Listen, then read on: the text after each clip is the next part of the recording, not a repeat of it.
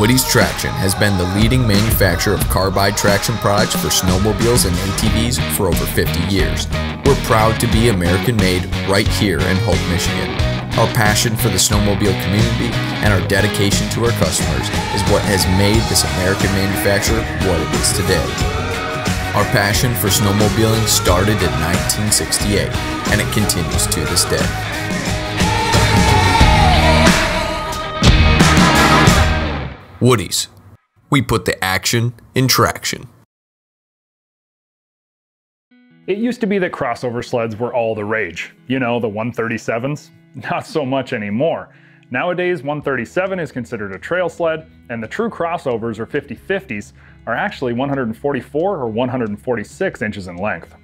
And with so many fish in the 140 inch sea, a lot more folks have been asking about options for both studs and carbides for these sleds.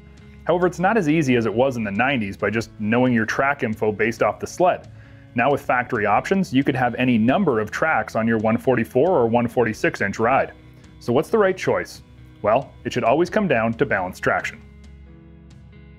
And by that I mean not too much bite up front from your carbides, causing it to feel heavy steering and awkward, and likewise, not too much grip out back from your studs or the paddle on the track, causing it to push through the corners. It's truly the harmony or the balance between these two that you should always be trying to find with your traction products.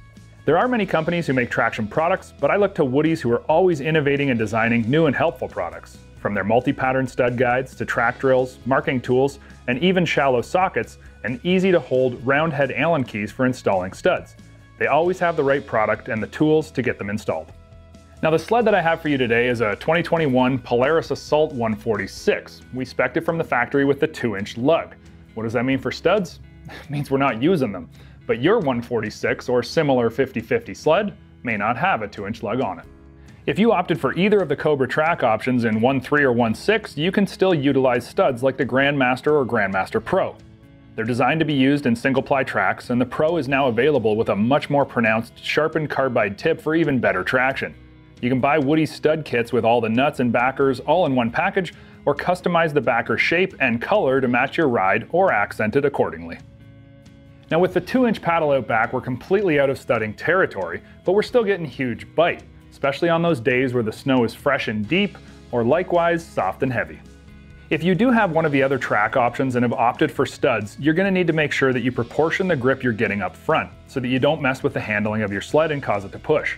To accomplish this, I recommend the Ace Carbide from Woody's because it features a unique host bar design that I've found to be the best help in keeping your long track, deep lug, or studded 50-50 sled tracking where you want it to go without becoming too heavy up front. The Ace Carbide is unique as it doesn't use a round host bar like the majority of carbide runners. In this case, it's a square profile. While you might not think a square profile steel host bar is a really big deal, remember the host bar itself does a lot of the work of turning your sled on the trail. So adding that extra square edge profile to the bottom of your ski gives you an even greater grip on the snow surface and also pushes the carbide deeper into the snow. The Ace Runner is available in 4, 6, or 8 inch carbide versions, and this will allow you to run the right amount of carbide for your desired traction package. For me, I'll be running the 8 inch Ace carbide on the 2 inch Lug Assault to balance out all that rear grip. However, if you're running the 1 6 inch track, you'd probably find the 6 inch Ace to be sufficient, and likewise, if you bought your Assault or other 50-50 sled with a 1.352 Cobra, you'll find the 4-inch Ace to deliver great characteristics. While these are only guidelines, it's important to remember that just because you're on a 50-50 sled doesn't mean that you're not going to benefit from the proper traction products. And in fact, the right setup is actually going to make you more confident both on and off trail. Woody's. We put the action in traction.